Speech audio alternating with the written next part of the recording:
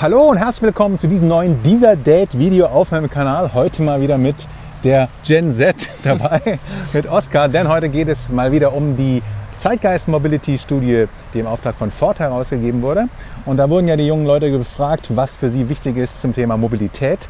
Und ähm, ja, heute, in der heutigen Folge geht es um die Zukunft der Mobilität. Und für mich ist da immer das Hauptthema autonomes Fahren, also alles das, was man selber nicht machen muss. Unser Elektroauto kann ja so in gewisser Weise so ein bisschen was autonomes fahren, aber so richtig gut nicht. Und wir sind gerade in Köln und ähm, mit einem Auto unterwegs, was uns geliehen worden ist und das kann einiges mehr als unseres. Eine Sache, die zum Beispiel dieses Auto kann, was unser Auto nicht kann, ist ähm, automatisch einparken, übrigens auch ausparken und das würde ich jetzt gerne mal ausprobieren. Bist du dabei?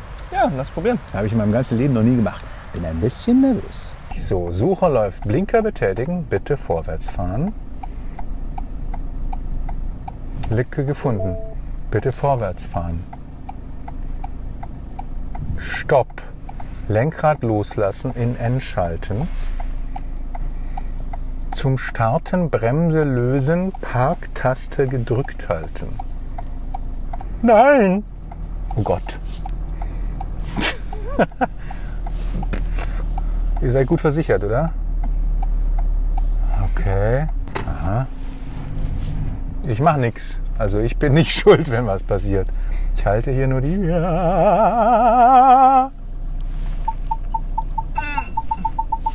Alles klar. Okay. Ah, ich mache nichts. Nicht mit den Füßen. Gar kein Gas? Nein, ich mache. Ah. Hey, was war das? Stress gekriegt. Vielleicht hört er mich. Okay. Das ist ganz perfekt. Okay, der will in den perfekten Abstand. Oh, aber der fährt gar nicht langsam, gell? Der heizt da in die Parklücke. Beendet. Aha, das heißt, die letzten ähm, Meter soll ich jetzt praktisch noch selber fahren, bis es dann endgültig piepst. Cool. Wobei so ganz ohne Hände geht es nicht. Man muss nämlich die ganze Zeit mit dem Finger aufs Knöpfchen drücken. Aber ansonsten, ich habe nicht gelenkt. Versuchen wir das Spielchen nochmal mit längs einparken, Blinker betätigen, vorwärts fahren. Da ist eine Parklücke. Lücke gefunden. Stopp. Lenkrad loslassen, in N schalten. Und Bremse lösen, Parktaste gedrückt halten.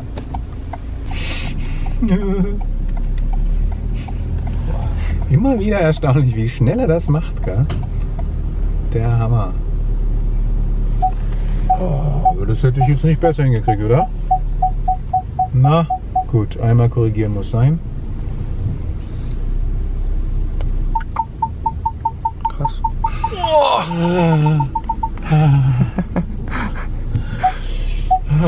Gut, dass nicht mein Auto ist.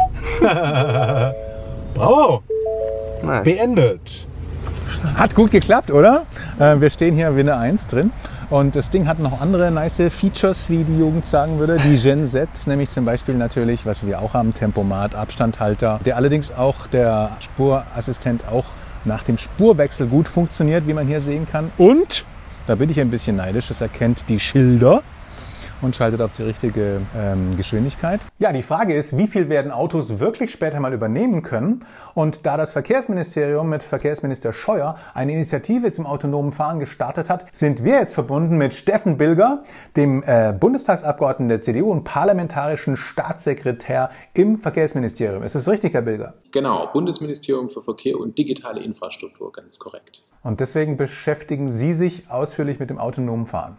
Ja, ich bin seit dieser Regierungsbildung, also seit 2018 Staatssekretär im Verkehrsministerium, zuständig für Digitalisierung, für Auto, für die Straße, für den Luftverkehr. Das ist unser Mann Oskar. ähm, wir hatten mit dem Zukunftsforscher Tristan Hawks äh, ein Interview gehabt, der meinte, naja, also in zehn Jahren wird es noch nicht so weit sein.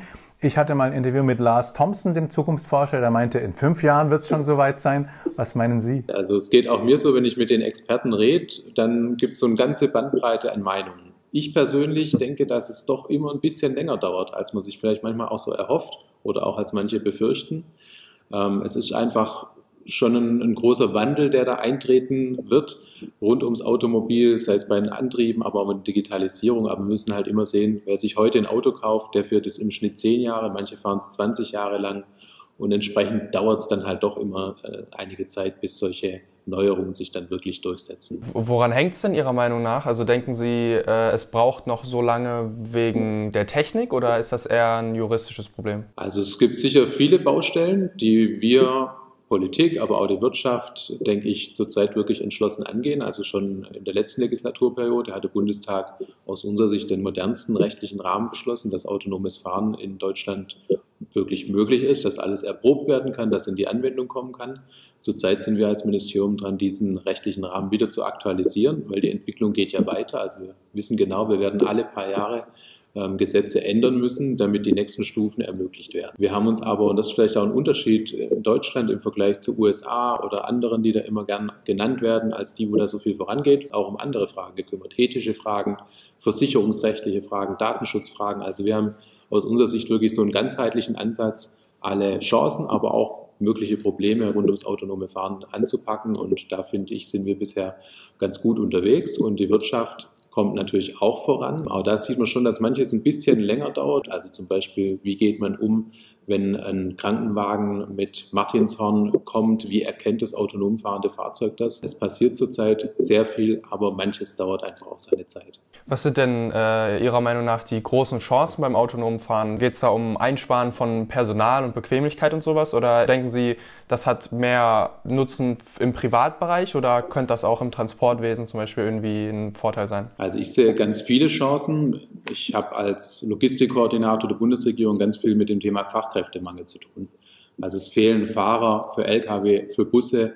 Da ist es schon mal eine große Chance. Die größte Chance für mich besteht eigentlich darin, dass wir mehr Teilhabe ermöglichen. Also wahrscheinlich kennt jeder Menschen, die aus gesundheitlichen Gründen nicht Auto fahren dürfen. Und da besteht, finde ich, schon eine riesige Chance, dass man solchen Menschen dann eben auch ermöglicht, individuell mobil zu sein. Also dass dann irgendein Mensch, der irgendwo gerade im ländlichen Raum oder in Städten lebt und von A nach B möchte, einfach über eine App ähm, angibt, ich will um so und so viel Uhr von da nach da und dann fährt ein autonomes Shuttle und holt den und andere ab. Ähm, dadurch ist das Ganze effizient, bequem. Es geht auch in, immer eigentlich einher mit alternativen Antrieben, also dann auch noch umweltfreundlich. Und dass wir auch vielleicht gar nicht mehr so viele Privatfahrzeuge brauchen, weil die ja auch wie wir wissen, 95 Prozent der Zeit nur rumstehen. Das ist ja auch eine große Chance. Jetzt interessiert mich natürlich, was genau hat denn der äh, Verkehrsminister Scheuer vor, außer dass es heißt, wir wollen uns an die Spitze setzen der Bewegung. Ja, wir ähm, bereiten zurzeit eine Gesetzesänderung vor, die noch vor der Bundestagswahl in Kraft treten soll und wird.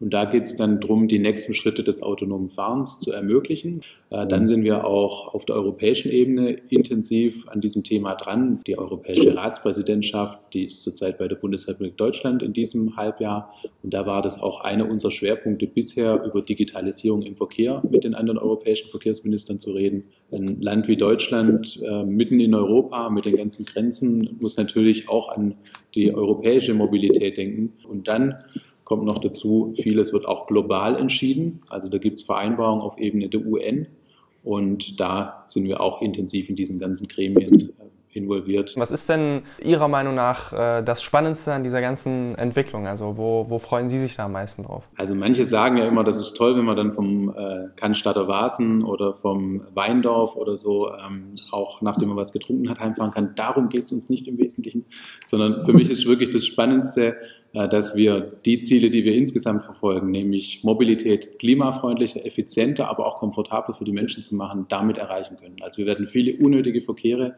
sparen können, wir werden gute Ergänzungen machen können für städtische Räume und für ländliche Räume und wir ermöglichen mehr Teilhabe auch für die Menschen, die eben nicht individuell mit dem Auto unterwegs sein können.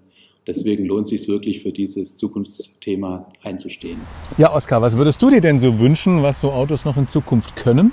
Ja, ich äh, freue mich auf jeden Fall drauf, wenn die dann irgendwann mal wirklich von selber fahren und man kein Lenkrad mehr hat und äh, sich unterhalten kann und das Mhm. auch vertrauenswürdig funktioniert. Also, ich hoffe, euch hat dieses Video gefallen. Wenn ja, dann lasst mir unbedingt ein Like da, abonniert meinen Kanal und kommentiert, was ihr in zukünftigen Videos sehen möchtet. Wir haben auch zusammen äh, einen Mobility Zeitgeist Podcast äh, auf sämtlichen Podcast-Plattformen und natürlich auch unten in der Beschreibung verlinkt. Mit immer auch wieder interessanten Gästen. Genau, in der äh, heutigen Podcast-Folge zu diesem Video äh, geht es eben um die Mobilität der Zukunft, beziehungsweise was sich so die, äh, die Gen Z, die Jugend äh, an Mobilität in der Zukunft wünscht.